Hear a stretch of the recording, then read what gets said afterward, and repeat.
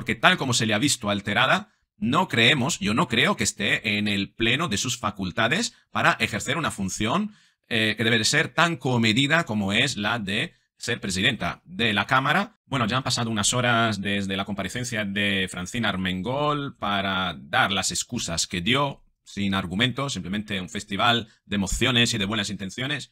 Así que, bueno, en este vídeo, ¿qué es lo que vamos a ver? En este vídeo vamos a hacer ya una valoración de cuál es la situación de Francina Armengol, porque no sé si tú te habrás dado cuenta, pero te diré en este vídeo porque creo que la declaración de Francina Armengol es la típica declaración de una futura imputada, de una persona que va a saber que está en el ajo y que trata de salvar los muebles pero sabe cuál es su destino.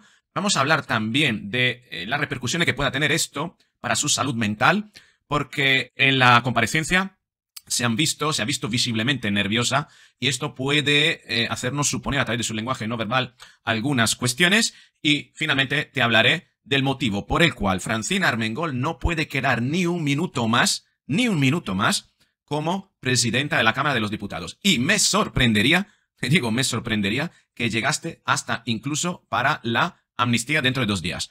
Puede que las cosas precipiten. Entiendo yo que no, pero tal vez puede que sí. Y te desvelaré cuál es el elemento que puede hacerlo caer todo. Venga, vamos con el vídeo.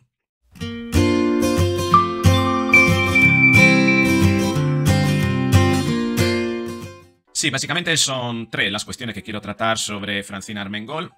Vamos a iniciar primero con su situación, con el rol, el rol que ha mostrado en esa comparecencia que es muy revelador, porque es el rol, yo te dije en el vídeo, como la niña que no ha roto un plato, ¿no? Pero también es cierto que se estaba disculpando, estaba sacando balones fuera, estaba echando veneno al partido, proyectando mierda al Partido Popular, eh, culpando a la gente de sanidad de su propia región, en fin, em, realmente haciendo todo para que de ella solo se aislara un único elemento, una buena intención de eh, estar en la política para regenerar la política, bajar los suflés y todas esas mierdas, ¿no? Em, pero realmente, realmente lo que yo opino, lo que a mí me ha dado la impresión de ver en Francina Armengol, no sé si tú has percibido lo mismo, esa típica persona que está en el ajo, que sabe que está en el ajo, que no se la veía llegar, ojo con esto, que posiblemente ha confiado en exceso en terceras personas y se ha pillado los dedos. Que posiblemente, y esa es mi conclusión, ella intencionadamente puede que no haya formado parte de la trama, pero por negligencia, por incompetencia, por mediocridad que tienen muchísimas personas que se asoman a la política, se ha dejado llevar como una palmera más de aquellas personas que ella misma de las que ella misma supuso una autoridad intachable, o tal vez porque quiso agradarles. Como verás, ella en su forma de actuar, siempre una mujer que quiere agradar a todo el mundo, quiere ser correcta con todos, es esa típica persona que tiene muchas dificultades en tener asertividad, en decir que no, en poner límites. Y puede ser que, precisamente, otras personas, quizás eh, los lobos del partido, ¿no? Quizás los grandes tiburones, los peces gordos del partido, hayan identificado en ella ese síndrome casi paz, ¿vale? De persona altamente sensible y que ella, por ser como es y por meterse donde posiblemente sus habilidades no le permiten estar a la altura para poner límite, se ha dejado llevar de la mano. Te digo se ha dejado llevar de la mano porque sería un error decir que otras personas dentro del partido, digamos que le hayan manipulado. No, porque cuando tú entras en política sabes a dónde te metes. Y si quieres cargos de responsabilidad, los asumes con todas las consecuencias. En el momento en el que tú, aún siendo una persona con mucha empatía, no eres capaz de poner límite, te dejas llevar por este lado eh, quizás excesivamente benévolo, excesivamente palmero, excesivamente condescendiente con aquella persona que identificas de autoridad dentro del partido, eres cómplice de eso. No te puedes escudar eh, en tu sensibilidad, en tu empatía, en tu benevolencia. No. Porque dentro del ejercicio del poder que ostentas, debe de estar también la competencia, la capacidad de saber decir que no, de negarte. Negarte a comprar esa mascarilla como se negaron otros exponentes, otros políticos, otras administraciones, siempre del Partido Socialista, pero en otras comunidades.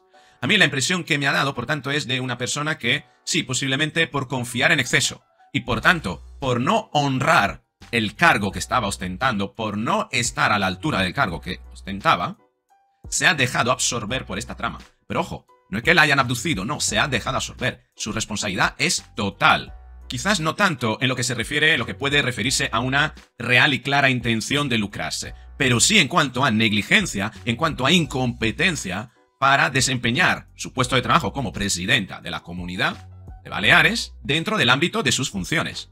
Y ese es el rol. Yo creo que realmente es lo que le ha pasado. Y ella sabe que está en el ajo, ella sabe que está en la mierda hasta el cuello y no sabe cómo salir. Su discurso tan emocional parecía más un disculparse por sus buenas intenciones, como decir, hombre, yo tengo buenas intenciones, ¿no? Se han aprovechado de mí, incluso haciéndose la víctima, diciendo que, en todo caso, si el gobierno de Baleares tuviera parte en esto, sería la parte engañada, ¿no? Sería la víctima de esta trama.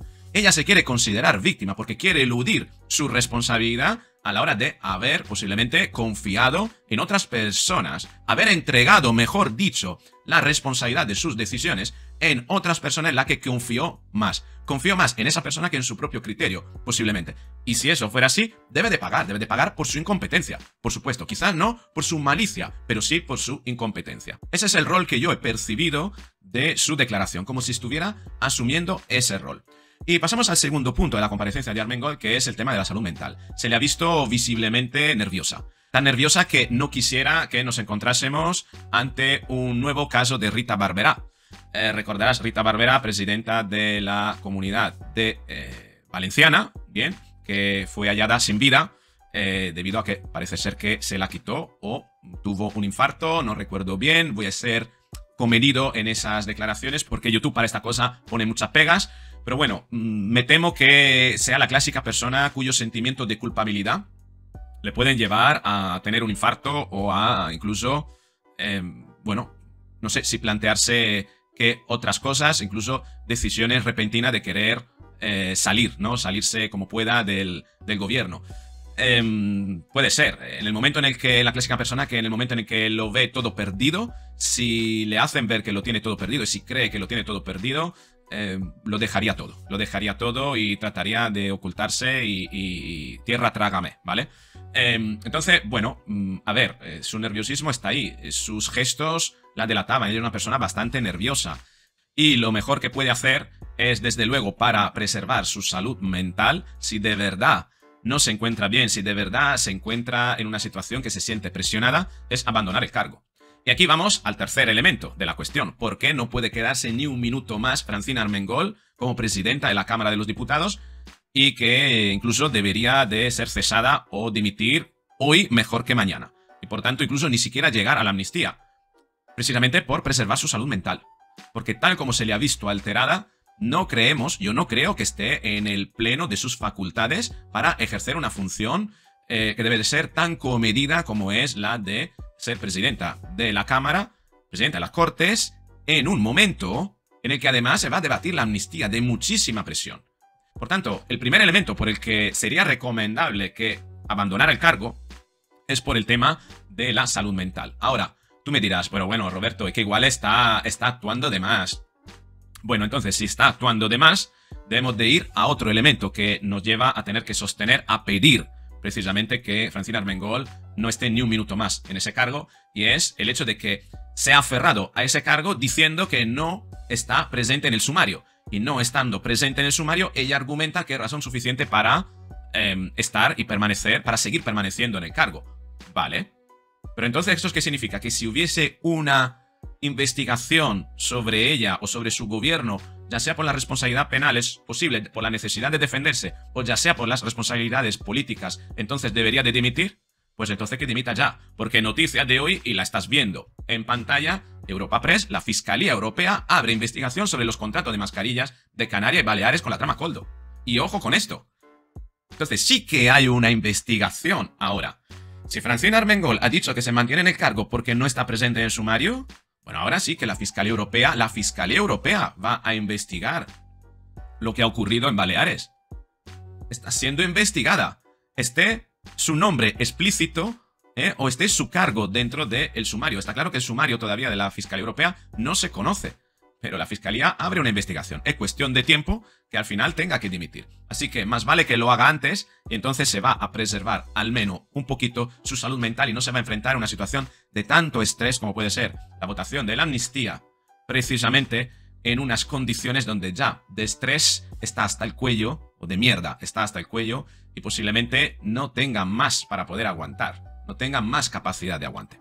Esa es lo que es mi eh, observación, mi observación claramente basada en argumentos, basada en la psicología, basada en conocer un poquito los roles que tienen las personas en determinadas situaciones comprometidas, pero me gustaría saber cuál es tu opinión.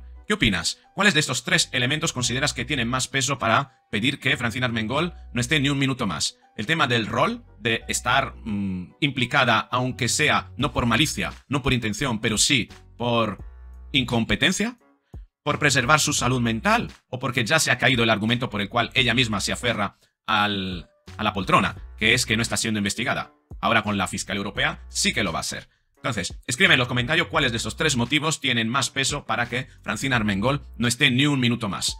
Y te estaré observando, estaré leyendo lo que vayas a escribir, tengo mucha curiosidad y nada. Así que con esto es todo. Si te gusta este vídeo te invito a que le des a like. Si crees que puede interesar a otras personas, que lo compartas. Si no estás suscrito, suscríbete al canal. Suscríbete, porque seguiremos analizando la actualidad, siempre con este punto de vista de análisis, de introducir la psicología, comprender un poquito más, abrir un poquito el abanico para comprender mejor todo lo que está ocurriendo. Con esto es todo. Un beso. Nos vemos en el próximo.